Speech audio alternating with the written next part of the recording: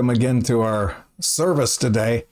And just again, once again, I'm just so appreciative of you watching this and letting the Word of God guide your life, which is what we're here for, and just receiving what God wants us to know. And it's so important that we do that. We're living in quite a time. It's been a year now. Uh, I don't know exactly when the pandemic began, but it's coming up to a year. And it's called COVID 19 because it actually started in 2019. But um, let's just believe God because God's laid on my heart a message that really is fitting for now. This is the second Sunday in the year. And the first one, I gave direction about how to serve God in a world like this. And not even thinking it really till this moment, but this message also is about how to serve God and what we need to understand, getting the Word of God in us so we don't just know it, but it affects the way we live. And so let's believe God, Father, in Jesus' name, let your will be done. Bless everybody that's here. Let a powerful anointing of your Spirit just flow with the Word and work it inside of the hearts of everybody. And Lord, we know you're faithful to do that. But in light of the message that you've given me to speak today, help us understand and appreciate our responsibility in receiving that word. And James even called it receiving the engrafted word. And that's like a seed that's planted in our hearts. So, Lord, open up our eyes and understanding in Jesus Christ's name. Hallelujah. Well, we're going to go to our um, worship time right now with the McLarens. And once again, Worship along. God bless you as you worship God, and you bless God as you worship God as they lead us. And take particular note of the theme of what they're singing because I didn't co- communicate with them what I'm going to preach. I never do. Uh, sometimes it's not till very last minute that I know what direction I'm going. Many times I've gotten a message and changed it. But this has got a lot to do with what I want to minister today.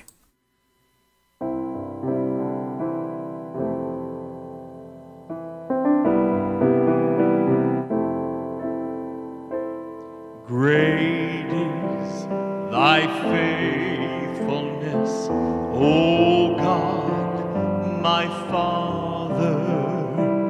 There is no shadow of turning with thee.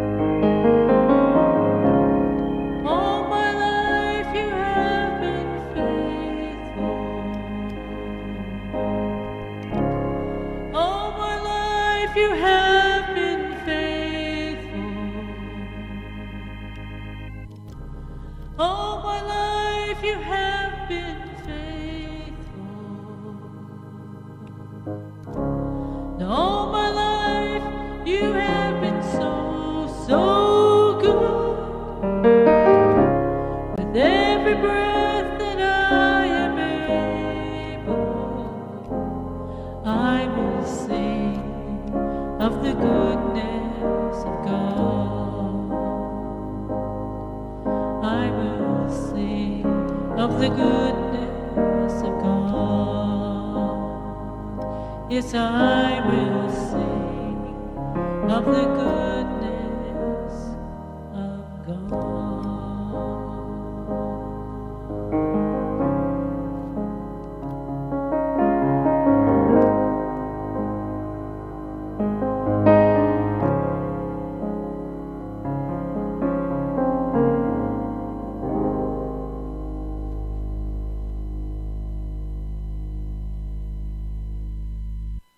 Praise God. Well, let's go into the word of the Lord right now and believe Him together as we study the word and, and let His truth grip our hearts and get a hold of us. And I want to turn in the Bible to Luke chapter 8 as we begin. And going to read from the fifth verse where it says, A sower went out to sow his seed. The sower went out to sow seed, and as he sowed, some fell by the wayside, and it was trodden down, and the fowls of the air devoured it, and some fell upon a rock. And as soon as it was sprung up, it withered away because it lacked moisture. And some fell among thorns, and the thorns sprang up with it and choked it. And another fell on good ground and sprang up and bare fruit an hundredfold. And when he had said these things, he cried, He that hath ears to hear, let him hear. And you find out what he means by that, by him saying, Understand what I'm trying to say. If you can catch what I'm saying, that's what he means. If you have ears to hear, let him hear. And his disciples asked him, they didn't have the ears to hear, but they said, What might this parable be? And, and he said unto the, he said, Unto you it is given to know the mysteries of God, but to others in parables, that seeing they might see and hearing they might not understand. Seeing they might not see, rather, and hearing they might not understand. Now, God did something quite ingenious, really, with the word. He did it in parables so that the people that didn't have the heart and it wasn't for them, they wouldn't get it. But those to whom it was intended would not only get it, but it would magnify and amplify what it is that God's trying to say. So he says the parable is this the seed is the word of God. He's giving a parable about why he's giving parables and what the word is supposed to accomplish. Those by the wayside are they that hear. Then comes the devil, takes away the word out of their hearts, lest they should believe and be saved. They on the rock are they, which when they hear, receive the word with joy, little better than what the first kind of soil had, but they have no root. And for a while they believe, and in time of temptation, fall away. Soon as something bad comes, some trial comes, they're gone. And they which fell among thorns are they which, when they have heard, go forth and are choked with cares and riches of pleasures of this life, and bearing no fruit to perfection. So you can see the the progression here. The first kind, the soil doesn't even receive the word; it's so hard. And then the second, uh, they get it, but it's not deep, and it's gone in no time. And the third, it goes in and it actually starts growing. And but there's other things that are in that soil or in their hearts that choke it and they're called the cares and the riches and the pleasures of this life. So the fruit doesn't come to perfection. It doesn't come to maturity. In other words the seed doesn't accomplish what it was intended to accomplish. And it's not the seed's fault. It's the soils. But that on the good ground are they which in an honest and good heart Notice what kind of a heart this good ground is? It's honest and it's good. Having heard the word, it keeps it and it brings forth fruit with patience. Praise God. The whole point of this parable is to show us that God gives us his word and it's meant to produce a certain result, a certain way of life in us, a certain way of thinking. And the conditions with the soil, which is represented by our hearts, either hinder that or they allow it to be accomplished. Now, when we go to Luke chapter 6 and begin at the 46th verse, look what else we read here. Why call ye me Lord, Lord, and do not the things which I say? And if you go back to verse 45, he talks about the heart again. A good man out of the good treasure of his heart bringeth forth that which is good, and the evil man out of the evil treasure of his heart bringeth forth that which is evil, for of the abundance of the heart his mouth speaketh. And then he says, Why are you calling me Lord and you don't do what I say? Notice he's focusing on the word, what is being spoken to us from him. And he says, If you come to me in verse 47 and hear my sayings and do them, I'll show you to whom he is like, a person like that. He's like a man that builds his house on a rock and dig deep and laid the foundations on a rock. And when the flood arose, the stream beat vehemently upon the house, could not shake it. It was founded on a rock. And of course, those who hear it and don't do what he says are like a man that's without a foundation, built an house on the earth, and the streams and all of these things beat on it, and it falls. So the same house is being built, but the storms are going to take one of them down and not the other. And it's not because of the house, it's because of the foundation that the house is built on. And you're all very familiar with that. But now I want to show you some examples where Jesus accomplished things and taught things to his disciples.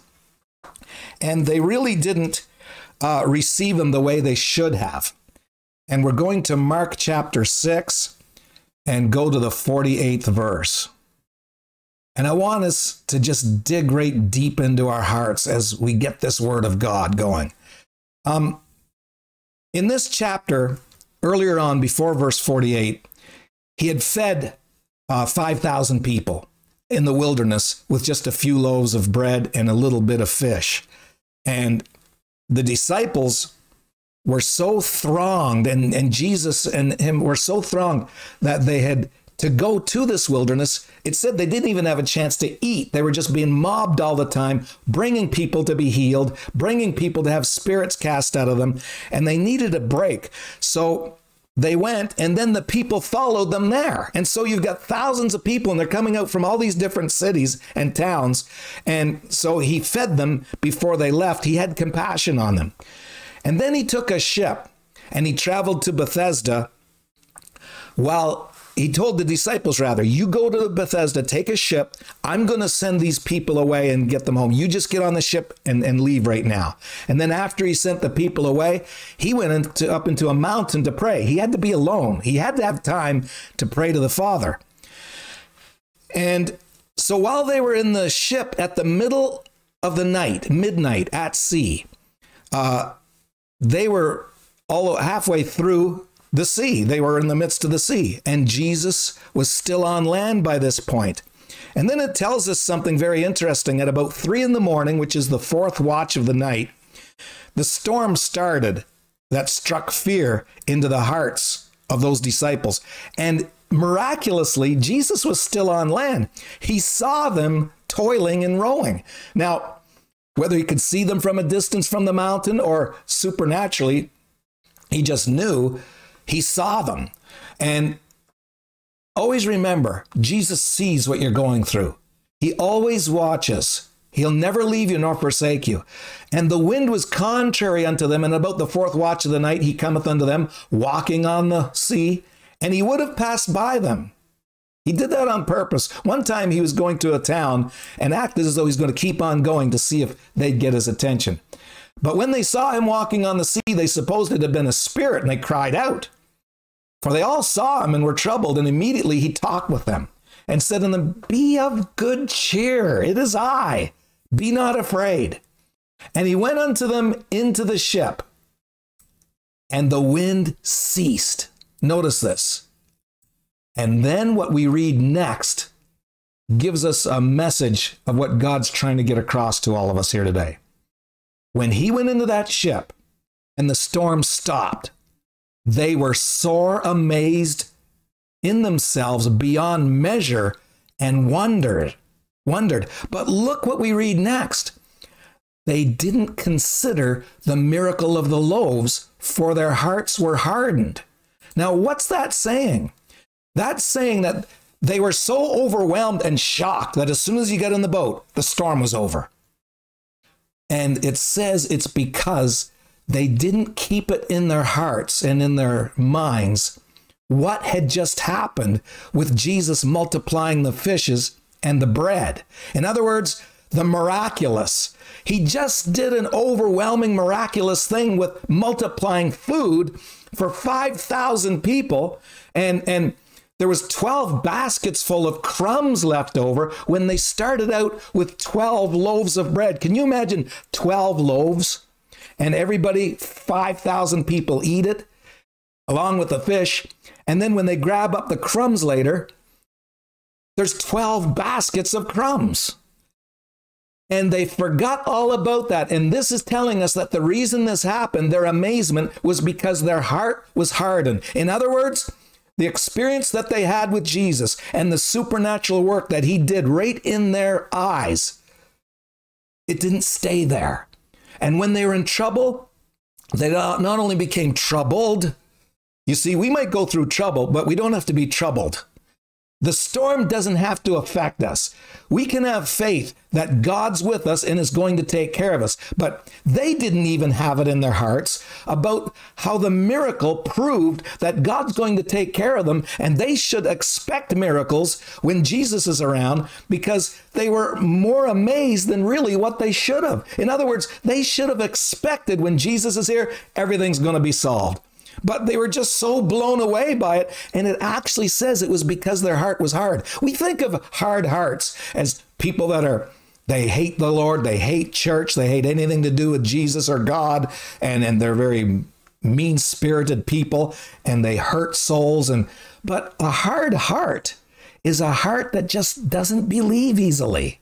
A soft heart believes. If their hearts were soft, then when they saw those miracles of the fishes and the loaves being multiplied, it would have impacted it. It would have accomplished something in them. Their hearts would have received that. You see, our hearts not only receive verbal words of God, but maybe visible words of God, because just seeing those miracles with the fishes and the loaves is a message in itself that they would remember God's going to take care of us. When Jesus is here, needs are going to be met. And there Jesus was, and then they're amazed when he gets in the boat that the storm stops.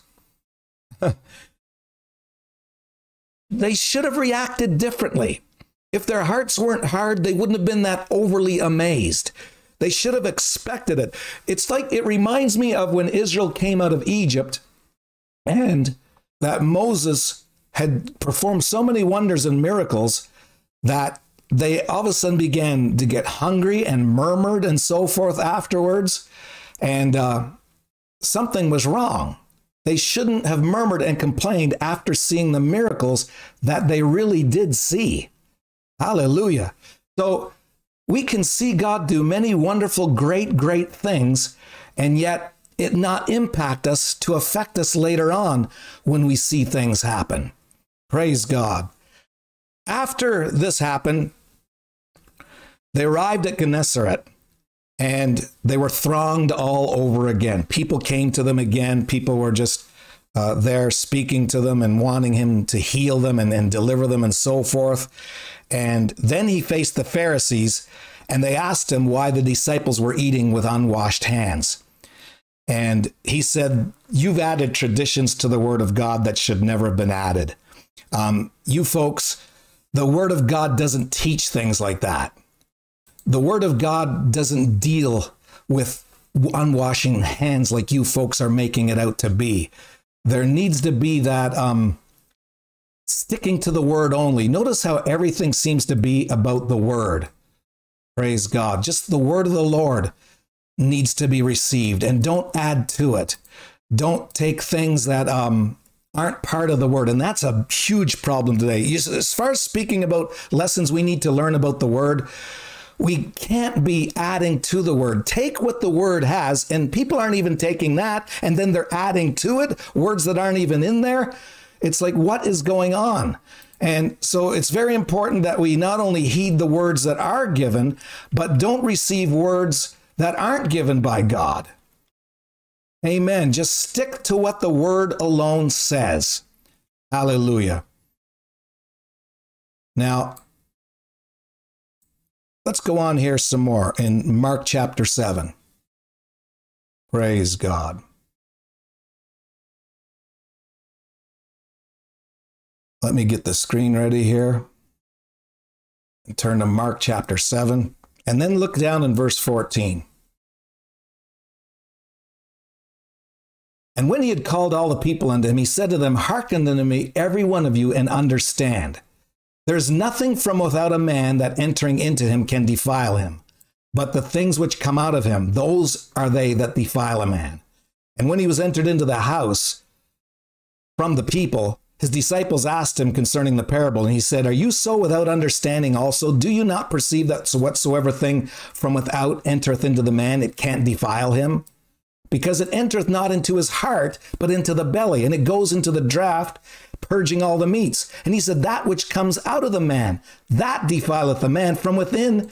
Out of the heart of men proceed evil thoughts, adulteries, fornications, murders, thefts, covetous, wickedness, deceit lasciviousness, an evil eye, blasphemy, pride, foolishness. All these evils come within and defile the man. They come from within. And there again, he's talking about the word. Instead of a life that produces what the word teaches, they're letting other things come out of their hearts. That's like those thorns and thistles that are in the heart that choke the word. There's other things that are in the heart that are coming out and, and it's all this covetousness and wickedness. And those are the things that defile. He kept on taking everything and turning it right around all the time and dealing with their hearts instead. Now, if you keep on reading, he said he went from there into the borders of Tyre and Sidon and entered into a house and would have no man know it, but he could not be hid. And then it talks about a certain woman had a daughter who had an unclean spirit heard of him and came and fell at his feet. This woman was a Greek. She was not Jewish. Now, you've got to understand that Jesus came to Israel first, not to the rest of the world. That would come after the day of Pentecost. Uh, 70 weeks were determined upon Israel. Jesus came at the beginning of the 70th week, and it would be for seven years that he would not minister to anybody but Israel. And of course, he died three and a half years later. And then three and a half years after that, after the day of Pentecost, the Gentiles came in and got saved. So Jesus says to her, he, she wanted him to cast the spirit and devil out of her daughter. But Jesus said, Let her children first be filled. Let the children first be filled. It's not meet to take the children's bread and cast it to the dogs. In other words, you're a Gentile. Your time's not yet. I've got to deal with Israel first. But what he was feeding them in his bread, it was words and truth and they weren't receiving it as much. In fact, she picked up on this and she answered and said, Yes, Lord, yet the dogs under the table eat of the children's crumbs. And he said unto her, For this saying, Go thy way, the devil is gone out of thy daughter. And when she came to her house, she found the devil gone out and her daughter laid upon the bed. Praise God. So, in other words, somebody that would receive the word of the Lord like Israel wasn't, appreciated it so much. And then Jesus went forth and accomplished what she wanted to have him do.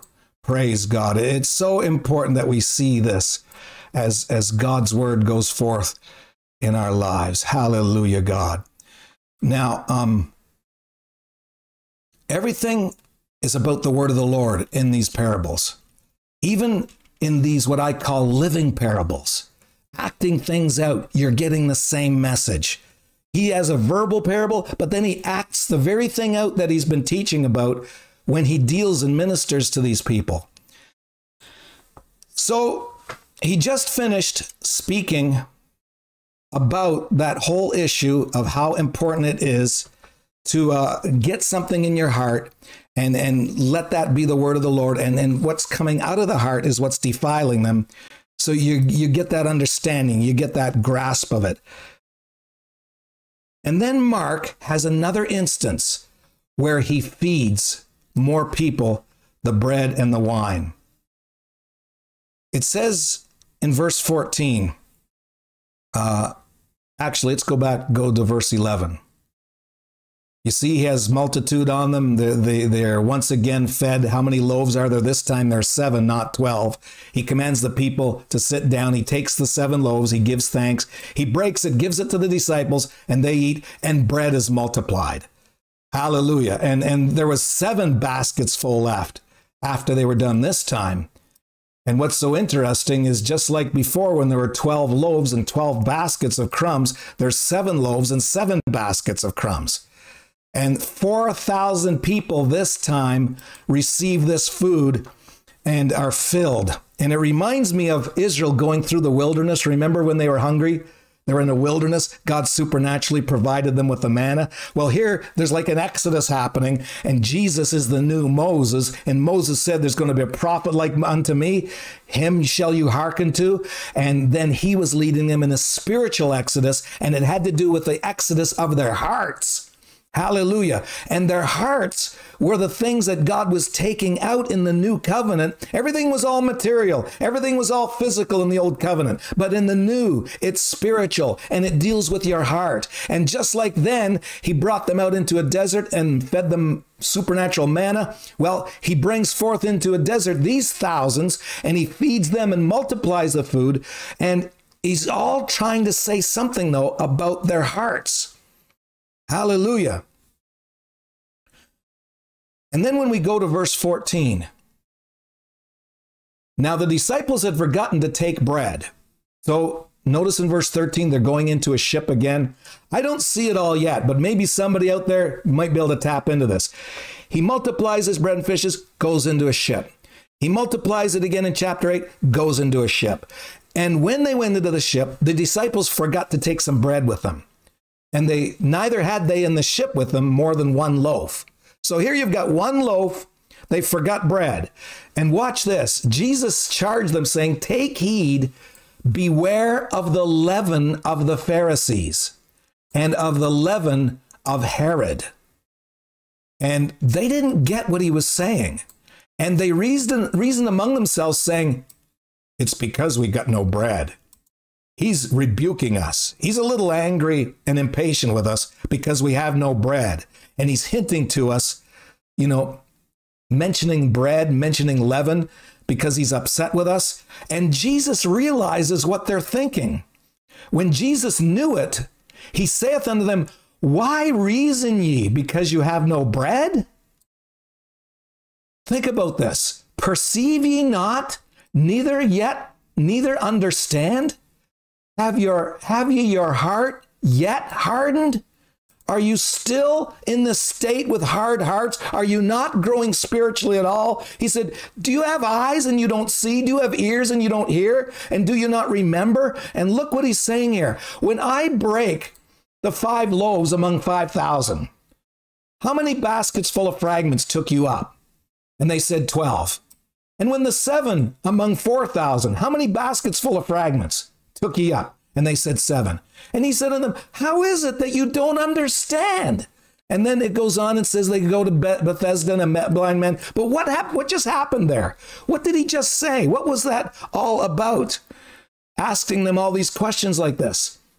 You see, folks, if he could multiply bread and fishes, and then they have no bread and they forgot it and they're in a ship, and there's only one loaf there, and then he happens to say something about leaven, which is related to bread, and their minds immediately go, he's rebuking us because we have no bread. Oh no, he's upset we are not going to be able to eat.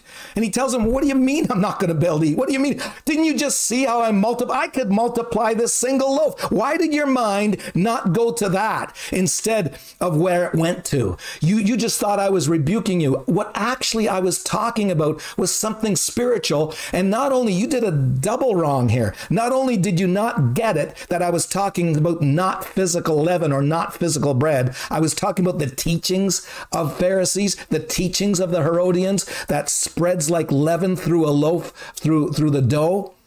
You didn't catch that, but you also didn't catch the fact that we're not going to get hungry if I'm here. If there's one loaf, I'll multiply. See, what's happening over and over here in these chapters is people aren't retaining what they witness. They aren't receiving and holding on to so that it affects what they think like after them. After seeing him multiply the bread and the fishes, after seeing that happen twice, 5,000 people, and then with 4,000, 12 loaves of bread, and then seven. After that happening twice in a row, that should have stayed with them. And then that wouldn't even come to their minds that he was rebuking them about food. Say, well, he wouldn't be rebuking us about food. He just multiplied bread and fishes. Like, what would that be an issue to him if because we forgot bread? But they weren't retaining it. And what had happened when they went into that ship the first time and the storm hit? The word had gone into their hearts from what they saw him do. He was multiplying bread, he was doing miracles. And not only that, he was casting demons out, he was healing the sick. People were thronging, they were bringing people on beds, on stretchers, in other words, and, and he was healing everybody. And then this distraction of the storm got inside of their hearts and, and was taking up their time and attention instead of letting that seed from seeing those miracles that was in their hearts grow and produce something that produce an understanding. We never need to worry about anything again. If we're ever without food, He's going to be here and he's going to multiply it if he has to. That is what that word would have produced. That's what God's word was intended to bring forth in their lives. But why were they so worried and upset that he, he's mad at them because they forgot bread? Now they're going to be all hungry? Because instead of letting that seed take root, they had their hearts focused on something else. Like he said, the thorns choke the word that's in their hearts. The cares of this world, the cares of other things, the cares of this storm, the cares for their life. It robbed them of focusing their attention on the word until that word produces what it should. I want to share with you something that happened to us when we were in California for a year. When we went there and we ministered for a year, um, while we were there, I put an ad out in the newspaper. We were Redlands, California, and we lived near Mentone and we are up in the hills in Forest Falls. And I put a little ad out in the newspaper about our church. We were meeting in meetings, and it was right near the wanted section and uh, items for sale and so forth. And a woman called and she said, I was just looking for pets and puppies. I like seeing that stuff and and just wondering if somebody had a puppy I might be interested in. And, and your ad was right close to that about church. And she, I've not been to church for a while. And so I just wanted to call you. And I and I live here in Redlands. And and so I said, Well, you know what? A couple brothers and I will go visit you and let's talk. And she said, Yeah, I'd really appreciate that. So we went, and she was a young couple, her and her husband, really young, just been together a little while, and shared to them the word of God and spoke the truth and, and prayed for them and, and believed God and, and just really gave them encouragement to get a hold of God because she used to serve God when she was younger and had gotten away from it. And I think her mother still went, but she wasn't anymore. And then, anyway, we left, and uh, I don't know how long it was after that when um, all of a sudden got a phone call and her name was Sonia. I still remember her name. And when was that? That was back in 2000. I can't even remember the year now. My wife would be able to help me if she was right here. But we got a phone call and she was crying on the phone. I said, What's going on, Sonia? She said, You're not going to believe what just happened. And I just feel the Holy Ghost thinking about I said, What? And she said, I was watching television and Paula White was on the television. And this isn't endorsing or not endorsing Paula White's ministry. and nothing, nothing to do with that. But Paula White was on there and ministering. And she said, she said, I was watching this show. She said, There's somebody watching this today. You just had some men of the word of God, some men of God visit you and see you and they were sharing the word of God to you, and you hadn't been serving God. And these men brought you that word. She said, I've got a word for you today. She said, You need to take that word that those men gave you, and you need to protect it like a seed because our hearts are the soil and the seed is the word. And when that seed goes in that soil, you've got to protect it. You've got to nurture it. You've got to water it. It's delicate. You've got to protect it with everything in you and not let anything damage it. If, if thorns or thistles start growing around it, take them out. If there's stones in the soil, take them out Put all your focus on that little seed so that that thing grows because what God has planted in your heart when those men of God came is something God wants you to protect and He wants you to nurture. And she was just crying her eyes out on the phone. She said, Oh, I'm going back to church now. I can't make it up to your services, but uh, I'll be able. Actually, she wasn't in Redlands, it was near, another nearby area. And she said, But I can go to this church and it's spirit filled and I'm going to go. I said, Go, serve God, get a hold of Him. Hallelujah. And folks, this is the thing that the Word of God that He gives to us, He doesn't want it to be aborted. He doesn't want something else to take your attention so you're not nurturing it anymore. We actually are nurturing our problems. We're nurturing our fears and our worries when we get focused on troubles and it's not of faith that we're doing it in. It's it's out of worry and unbelief. And meanwhile, the word that he's given to us has gone untended. We haven't paid focus on it like we should, and it's not producing a mature tree with mature fruit in our lives because of our unbelief that the word of God has been robbed of because of the unbelief. And, and we have not received the word like we should have and kept it. Praise God. If you look at that sequence of events, the ground didn't even let the seed get in there. The birds of the air came, and Jesus said, This is the devil. He sends his spirits, and devils take it away, lest that word should start taking root in your heart and growing. And then the next one is shallow, and it starts to grow, and it grows quickly because it's not down deep. It's down so shallow, it comes up before everything else. And everybody's, wow, this person, they're immediately on fire for God. But watch it when people are immediately on fire for God because just as quick as they are excited for God, they're just as quick to abandon God when they go through a hard time. And then it's a little better because the word starts growing and it's in a little deeper in the third part of the, the parable. But there's thorns there and it's other cares. And, and this is what I think happens with most of us that we should have such great faith after seeing God do things in our lives.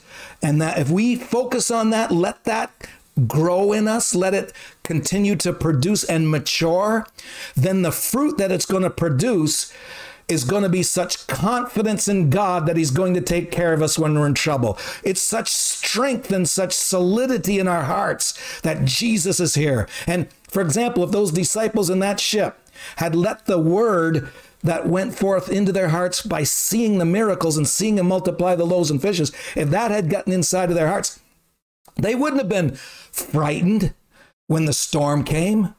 It would have produced the kind of fruit Jesus is here everything's going to be all right. And then when they go into another ship, it's like the ships represent where we go once we get the word of the Lord. Remember earlier I said maybe somebody can pick up on this? I think I'm getting something on that. When we go into the ship, we're going to go into life's waves. The Bible says in Revelation that the waters represent peoples and many waters are many peoples. We're going out into the world. We're going out amongst the world and the peoples with all their troubles, with all their storms, and sometimes their storms affect us. The pandemic.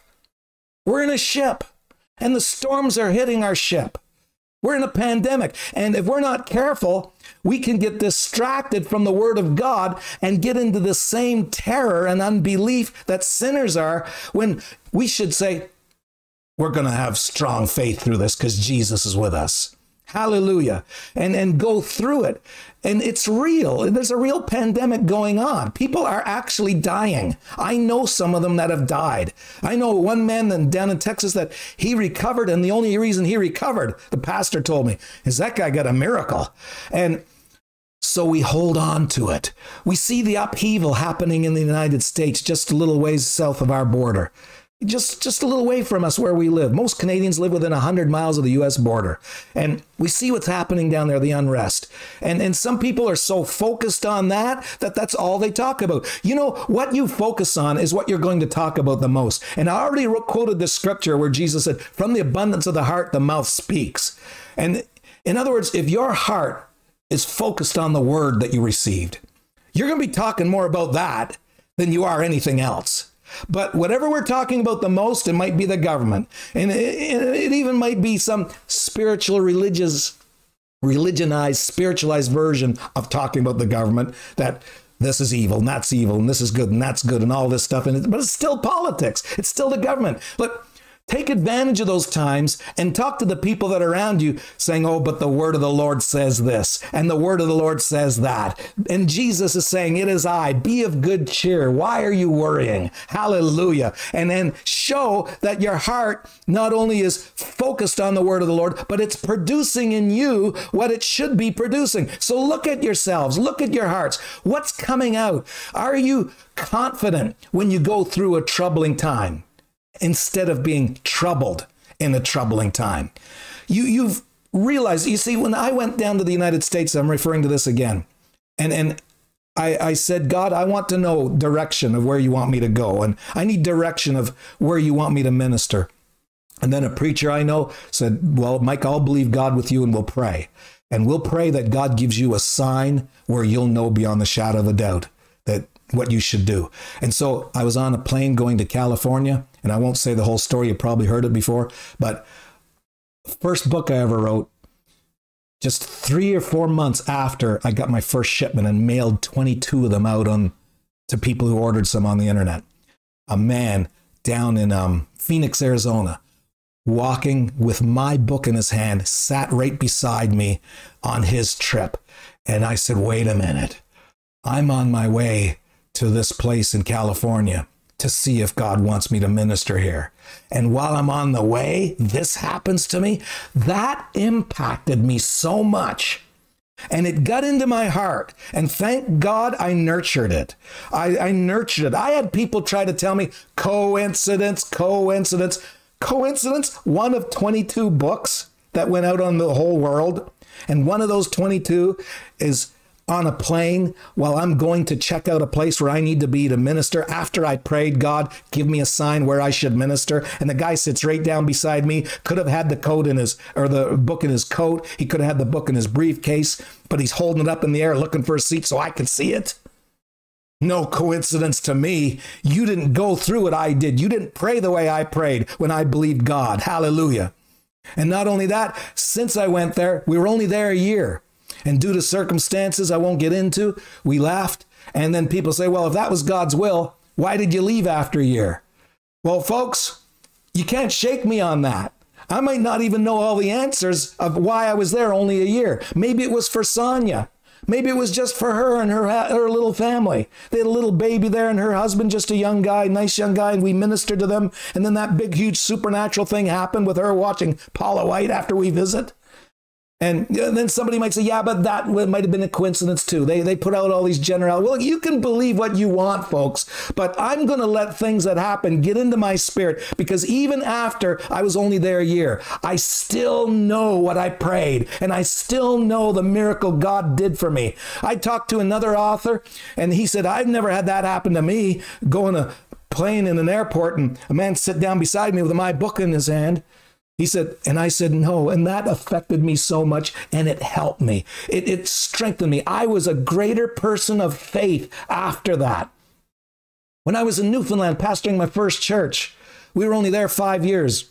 It was actually longer than any pastor had ever stayed in that community. But five years, and, and then before the first year's out, I had to live on unemployment that expired and then prayed and prayed, God, you sent us here. Give us this miracle. I need something. I'm not leaving. I'm going to believe you. And then miraculously, I get a call from the other end of the continent, California, by the way. I don't know why things linked with California here with me.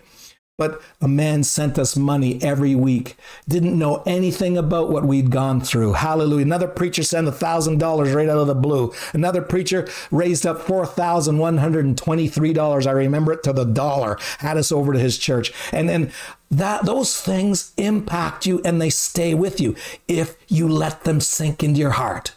Now, let me tell you a sad example of a supernatural thing where somebody didn't let the word of God stay in their hearts. I know of a, a young woman that she went to church for the first time in her life, a spirit filled church. And in that service, the word of God was getting a hold of her. And the people called me afterwards and told me what happened.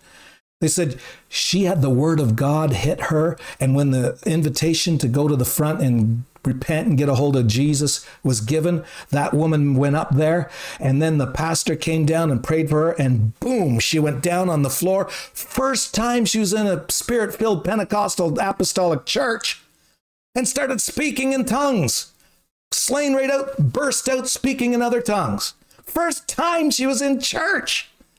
And it was so impacted, they called and they said, This is what happened. Listen what happened. But you know what happened? Sadly, sadly, some very, very terrible things happened in her family and in her marriage. And they ended up splitting her and her husband.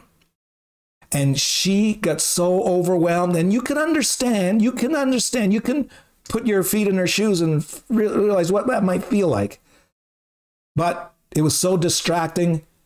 She totally forgot about the supernatural miracle that happened to her in church. Totally forgot about the wonder and amazement that God showed himself so real to her. And to this day, she's far away from God, far away from God. In fact, those experiences put such a bitterness in her heart that she went through with her family that she's not just not serving God, she's in a real state of, of bitterness and, and sorrow. You see, the Bible wouldn't be teaching us, and that Jesus wouldn't be saying things to his disciples like we just read. After a supernatural thing happened, when a distraction occurs and distracts their hearts so they can't believe for miracles anymore, if it wasn't possible to not let the distraction distract us. It is possible, folks. It is our responsibility. We might understand, we might be very sympathetic and, and have empathy towards people that go through these hardships and don't end up serving God. But Jesus tells us, I'll never leave you nor forsake you. You've got to believe my word. I can only go and help you if you hold on to my word. And you do have the ability to hold on to my word and not let the distractions rob you. And I think all of us have experienced things where that's happened to us. Some some person insults us. I'm not going to church anymore. As if that person was God.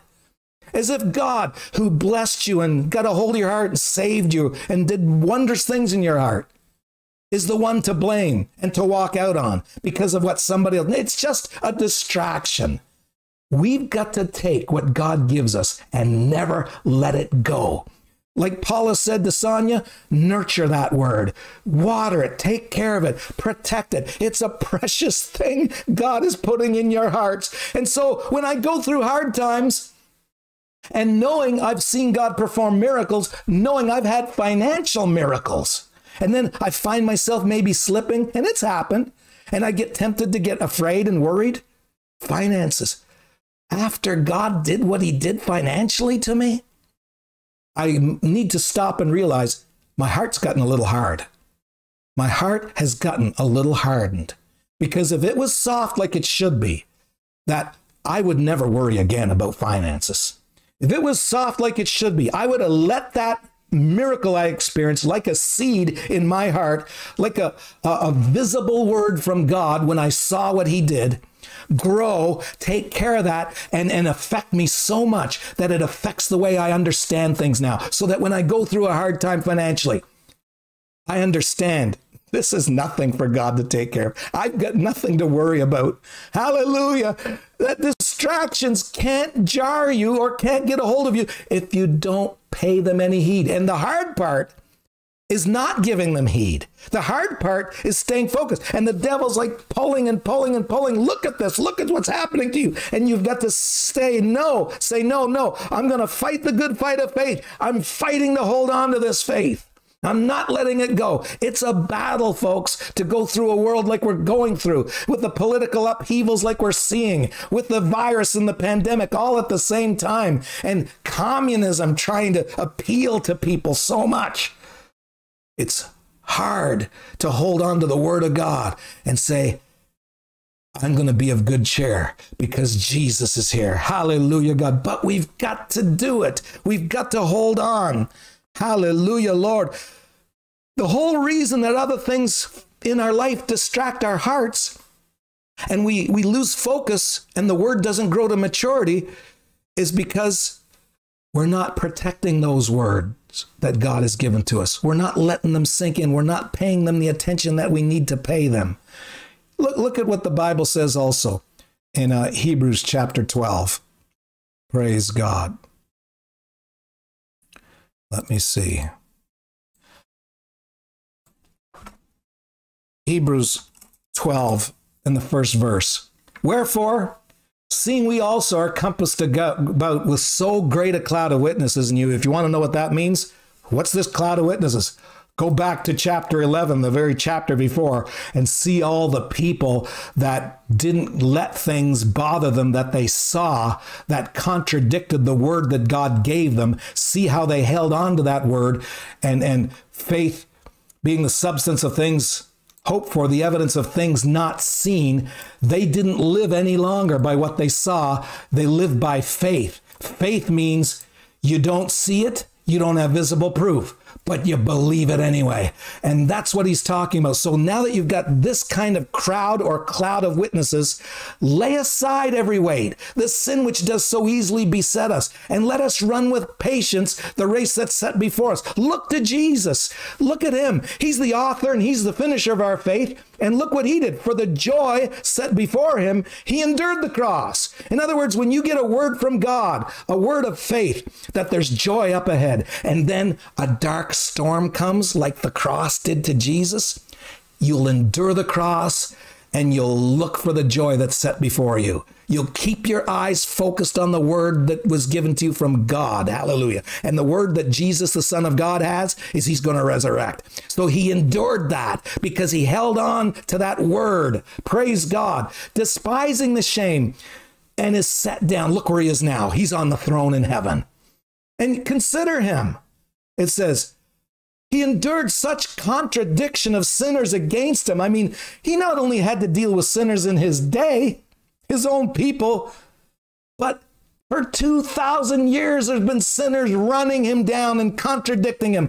He said, You just think of him and how he endured, lest you be wearied and faint in your minds. You haven't resisted yet unto blood, striving against sin like Jesus did. Have you forgotten? Look what he says. You have forgotten the exhortation which speaks unto you as unto children. My son, despise not thou the chastening of the Lord, nor faint when thou art rebuked of him. For whom the Lord loveth, he chasteneth, and scourgeth every son whom he receiveth. And if you endure chastening, do you hear that? He just called Jesus somebody who endured the cross. And now we're reading, he endured chastening.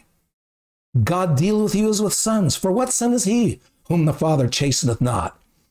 In other words, we're going to grow strong through this. We're going to grow mature through this. And when we grow mature through this, this seed that's been planted in our lives is going to grow to maturity. It's going to grow to perfection or completion. And there's going to be faith in there that we've learned from receiving that word when we saw that miracle that time, from hearing that word of God from the Bible. And we say, Oh, no, no, I'm all worried for my health. After reading in the Word of God that God will heal, after reading in the Word that even when healing doesn't come, Paul said, I prayed three times for this thing to go away and it wouldn't go away. And nobody knows. Don't even try to say what you think that thorn was in Paul's flesh. Nobody knows. The Bible didn't say. The point is, he had a thorn.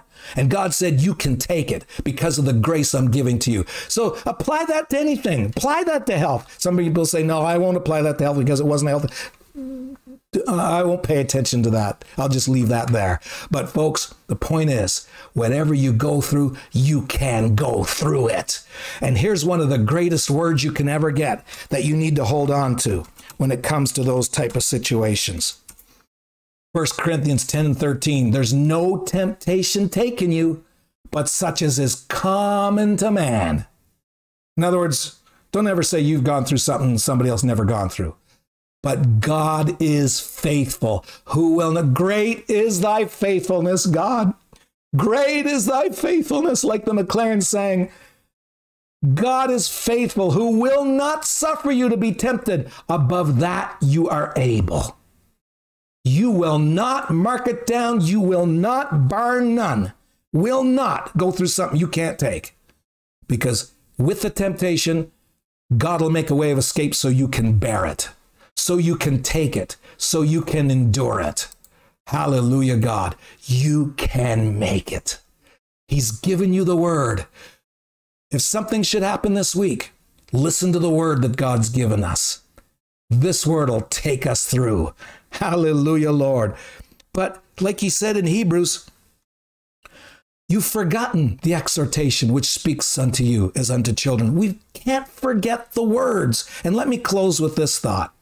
In Hebrews chapter 13, I love this. Oh, I remember reading this years ago and it's never left me. Verse 5. Let your conversation, now, conversation doesn't mean your discussion with somebody. It's your lifestyle. In the King James Version, it means lifestyle. Let your lifestyle be without covetousness and be content with such things as you have. For he said, now he's going to tell us why we can be content with what we have because he said something. He gave a word once I will never leave thee nor forsake thee. In other words, and I'm not I've not quite seen it just as I am right now while I'm reading this, as I'm seeing revelation concerning this verse. You might not have this and you might not have that, but listen to me. You've got Jesus and he'll never leave you. Hallelujah. When those thoughts come to your mind, I don't have enough to get by. I don't have this and I don't have that. Listen, Jesus is with you and he'll never leave you. And not only that, he can multiply bread. You need bread? He can multiply it. You need money? He can multiply that. Hallelujah. We can boldly say, The Lord is my helper, and I will not fear what man shall do unto me. You know what that last statement is? I will not fear what man shall do unto me. It's mature, perfected fruit from a word where God said, I'll never leave you nor forsake you. And when you let that word plant itself in your heart and you nurture that and you let that grow and develop and produce in your understanding what it's meant to produce, to produce in your lifestyle what it's meant to produce, then you're going to have the understanding. I'm not going to worry about what men can do to me because he, the one who walked on water, calmed the storm, multiplied the bread and fishes, healed a Syrophoenician Gentile girl, a woman's daughter of a devil spirit. He's with me and he'll never leave me. Hallelujah. And look at what the very first word is in the next verse. Remember. And then, of course, he talks about ministry and, and those who have spoken unto you the word of God whose faith follow considering the end of their conversation or the end of their lifestyle. Oh, hallelujah.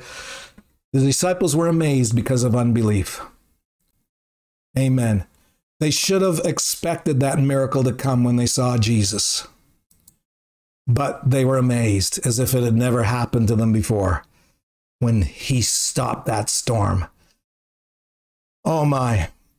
Folks, Jesus wouldn't teach us to let the seed grow to a mature plant if it wasn't possible to keep our hearts free from the stones and from the thorns of the distractions that try to take away the attention of our hearts from what God's put in our lives. And and you know, this is a hard time financially, spiritually speaking and materially speaking. But you know what? We're believing God. God's with us. He's going to take us through. Hallelujah. Lots of times I look at this in life and look at that, and you do too. Wondering, well, I, I hope I wasn't going to be at this place at this point in life or whatever. But Jesus is there.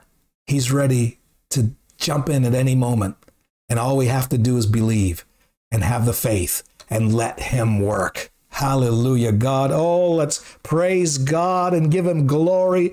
Let's ensure we let the word grow in our hearts, folks. Let's ensure we really hold on to this.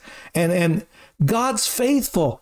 That's what's so beautiful about the very thing that uh, Alfie and Corley McLaren sang earlier in this meeting. Great is his faithfulness. It's great. Amen. I'll remember his faithfulness toward me.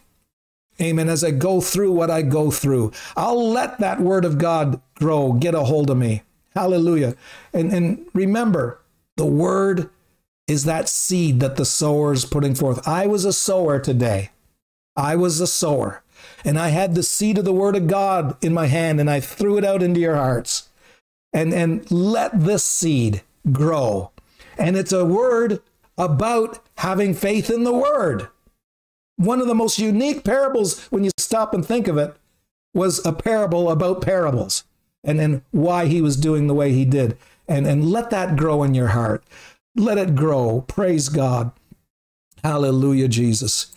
And once again, as we close, if you are able to bless our ministry with an offering, we really appreciate that. Hallelujah. But let's one more time listen to this beautiful singing and and it's several minutes long, but when something's wonderful, you like it to last. So God bless you in closing. Until we see you again next time, let this word stick with you in your heart. Let it grow, come to perfection, and take the name of Jesus with you.